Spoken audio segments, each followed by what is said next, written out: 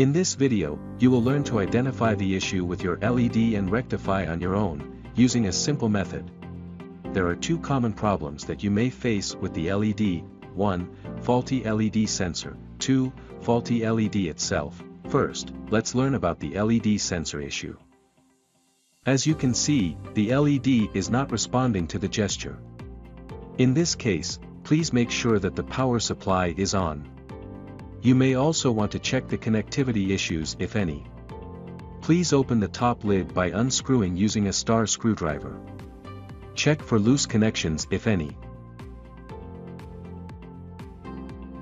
The sensor of the LED is located at the back. In order to open the sensor panel, unscrew using a star screwdriver.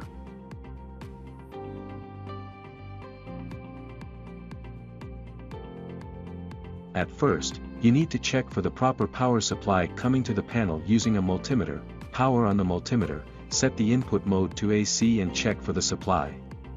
You should get 23 volts as the reading. Now that the input power is as expected, we need to check if the LED sensor is working. In order to do so, directly connect a wire between these two indicated points by untightening the screws. By doing so, if the LED turns on, we can conclude that the LED sensor is faulty and it needs a replacement. Until you replace the sensor, you can continue to use the LED by directly connecting with a wire. If you need more intensity, hold the wire for a longer duration until you hear a beep sound.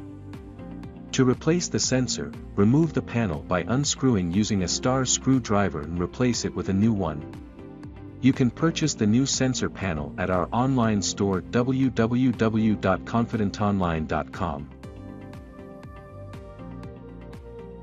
Now, let's learn about the faulty LED, bypass the sensor by directly connecting a wire between these two points.